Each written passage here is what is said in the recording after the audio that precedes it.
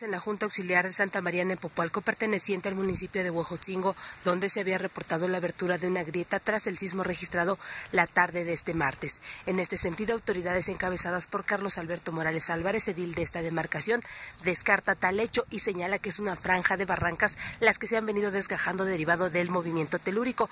Ante esta situación, señala que Protección Civil y la Dirección de Obras Públicas mantienen un monitoreo permanente sobre esta barranca que abarca al municipio de Huejotzingo a más de dos kilómetros. Desde la región informativa de Huejotzingo informó para Municipios Puebla Cecilia Espinosa.